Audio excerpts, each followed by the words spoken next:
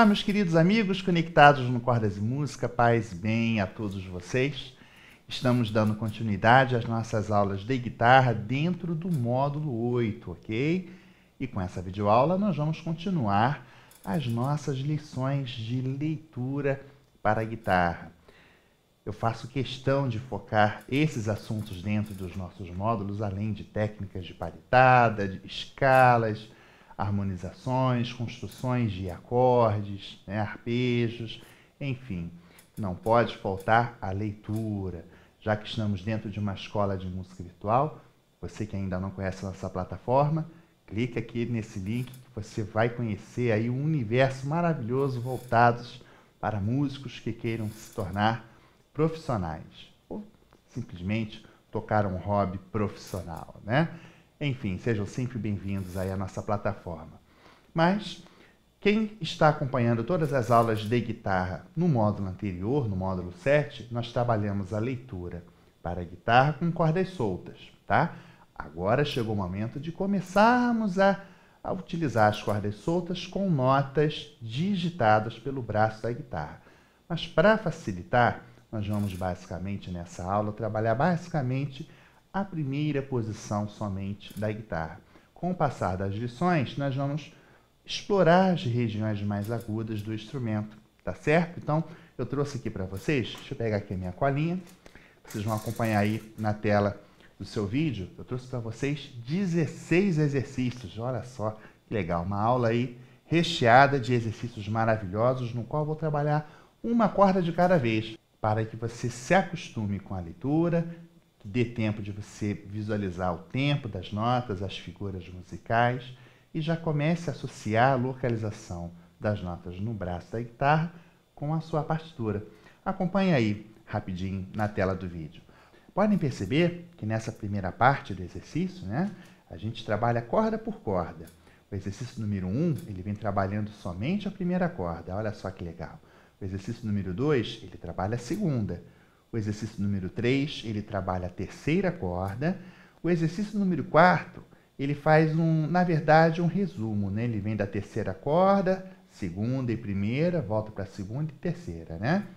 O quinto exercício vem trabalhando a quarta corda. O sexto exercício já vem trabalhando a quinta, o sétimo a sexta e o oitavo a gente faz um resumo dessas últimas três cordas, né? A gente toca notas que envolvam a, a sexta corda, a quinta e a quarta, depois retorna para a quinta e sexta, tudo bem? Essa é a primeira etapa dos nossos exercícios. Na próxima página, olha só o que espera vocês, ó. Acompanhe aí. Bem, o exercício número 9, na verdade, é, não vou dar assim uma ênfase ao tempo das notas. É basicamente um lembrete do que a gente já vem fazendo nas outras aulas, né? A gente está lembrando aí, em cada compasso, as oitavas. Né? Por exemplo, no primeiro compasso, nós vamos trabalhar a nota Mi. Depois, no segundo compasso, nós temos aí a nota Fá. O terceiro compasso, nós temos Sol. E por aí vai, até a gente chegar, basicamente, no último compasso, que está na notinha Sol. Tá certo? É mais para que vocês tenham aí um entrosamento, uma intimidade com a escrita musical, tá? Podem perceber que para facilitar na parte superior da partitura, nós temos aí a indicação de dedos da mão esquerda e nos números circulados são as cordas, tá certo? Assim não tem como você se perder. Bem, agora podem observar que do exercício número 10 até o número 14, nós já temos aí um novo padrão, né? No exercício número 10, a gente já começa a trabalhar agora é uma leitura envolvendo a sexta e a quinta corda, tá bom? A gente faz aí basicamente é, um, escalas ascendentes e descendentes o tempo todo, né? No exercício número 11, a gente faz a mesma coisa com a quinta corda e a quarta, tá certo? Cada exercício tem retornelo, então a gente faz isso tudo duas vezes, né? No exercício número 12, a mesma coisa para a quarta corda e a terceira, no número 13, a mesma coisa para a terceira e a segunda corda. E no exercício número 14, a gente vem trabalhando é, a segunda corda e a primeira, para fixar ainda mais as notinhas. Nós temos aí mais uma revisão do que já foi feito nos exercícios anteriores, tá bom? Nós temos aí ó, uma leitura que pega da sexta corda, tá? No, exercício número 15, né? Você vai da sexta corda até a primeira corda, né? Então a gente vem passando aí por todas as notas, Mi, Fá, Sol, Lá, Si, Dó, Ré, até chegar no Sol, lá na, na primeira corda, terceira casa, tá certo? Lembrando a vocês que estamos trabalhando somente a primeira posição do braço da guitarra. E o último exercício ele faz a direção inversa, para que a gente não fique viciado somente em uma única direção, tá certo? Alguns exercícios nós vamos trabalhar o metrônomo, outros não, tá bom? Então fiquem à vontade. Se você não tem o metrônomo, é bom que você tenha, é bom que você use, que vai já trabalhar em você a questão das pulsações, tá certo? O metrônomo, gente, agora todo mundo tem celular, né? Então basta você baixar esse aplicativo de metrônomo, é de graça, tem vários por aí. Ou simplesmente, se você queira aí ser um músico tradicional como eu, basta você comprar aí um metrônomo acústico, né? Que também funciona maravilhosamente bem, tá certo? Então, vamos começar? Então vamos lá. Primeira dica que eu dou a vocês é você clicar aqui no link abaixo do vídeo, se você já está logado na nossa plataforma, tá? Você clica no link, basicamente você vai abrir uma página no, no, no seu celular, no seu computador, no seu tablet, né? E se você estiver conectado aí com uma impressora, você baixa o arquivo em PDF e já imprime. Eu aconselho você, antes de estudar junto comigo, você também ter essas partituras na sua frente que você pode utilizar aí as dicas do vídeo, você pode me assistir tocando e também você pode apenas me ouvir e acompanhar a sua partitura, tá certo? É bom que você faça tudo com palheta, tá? Já que a gente está com aulas de guitarra, seria interessante você fazer isso com a palheta, tá? Vejam bem, vamos visualizar aí o primeiro exercício e já deixa o seu metrônomo engatilhado em 80 BPMs, tá certo? Visualizando o nosso primeiro exercício, nós temos então três notinhas aí o tempo todo. A notinha Mi, a notinha Fá e a notinha Sol. Tá legal? O tempo todo nós temos aí semínimas, ou seja, é, para cada pulso do metrônomo nós temos uma nota. Cuidado lá no último compasso que a gente tem uma mínima, ela dura dois tempos, dois tempos, perdão, e a gente tem aí uma pausa de mínima que basicamente são dois pulsos de silêncio, e a gente começa o exercício todo por causa do símbolo do ritornelo, que são aquelas duas bolinhas no final. Tudo bem? Então, vamos deixar uma regrinha aqui para a gente não se perder na nossa aula, né? Eu vou acionar o metrônomo.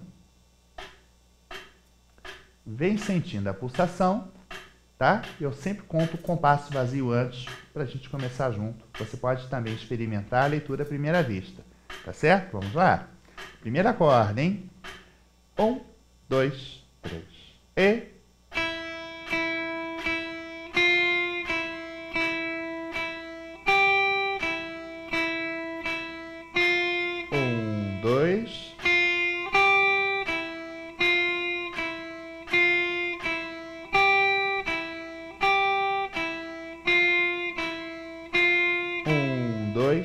Pausa. Pausa de novo.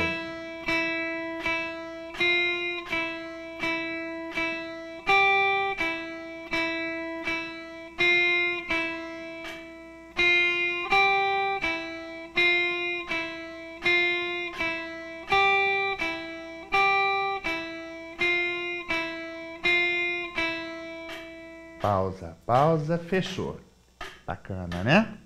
Vamos agora olhar o nosso segundo exercício. Basicamente é o mesmo padrão, tá? Vem pensando também no nome das notas, hein?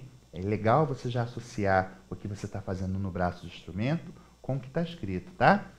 Então, no exercício número 2, nós temos as notinhas Si, que é a segunda corda solta, né? Dó e Ré. Sem mistério nenhum, tá certo? Utilizando basicamente o mesmo tempo, tá? As mesmas pulsações. Vou acionar aqui o meu metrônomo.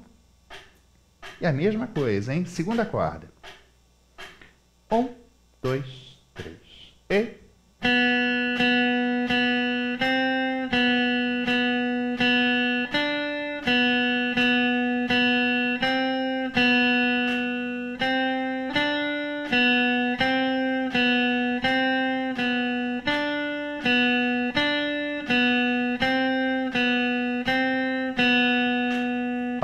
pausa.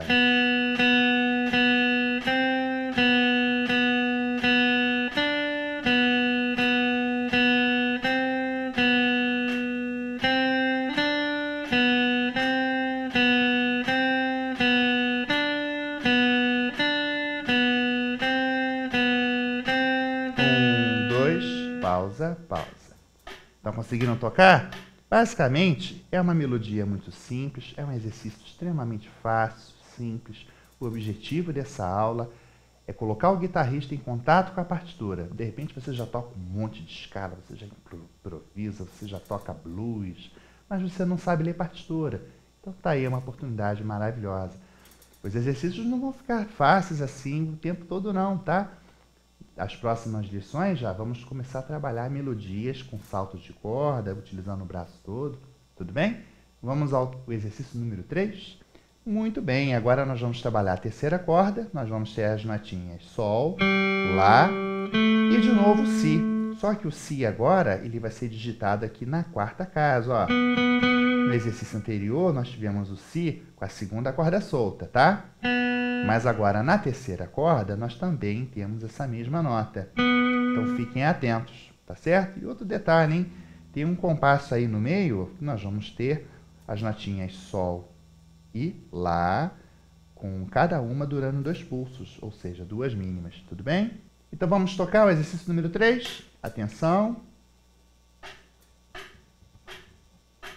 Um, dois,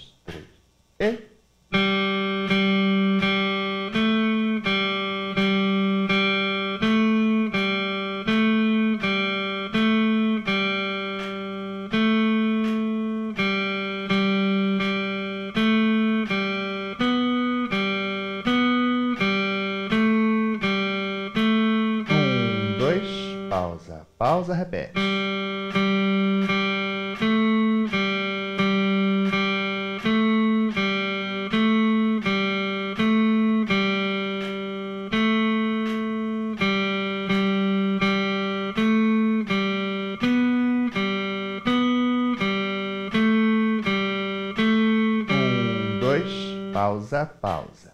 Tudo bem até aí, galera? Eu acho um exercício gostoso, tá? A gente não está trabalhando técnica ainda. Existem exercícios de leitura que a gente trabalha técnica também, né? Mas isso aí está bem mais para frente.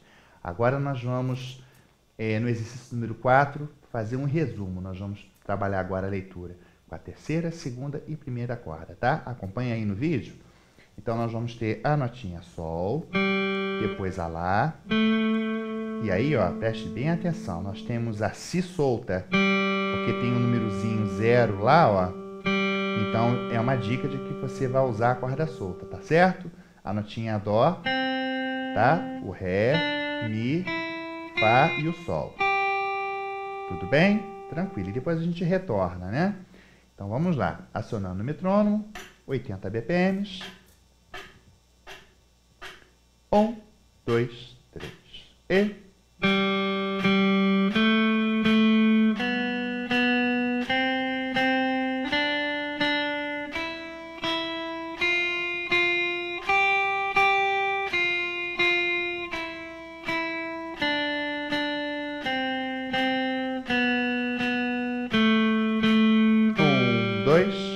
pausa, pausa.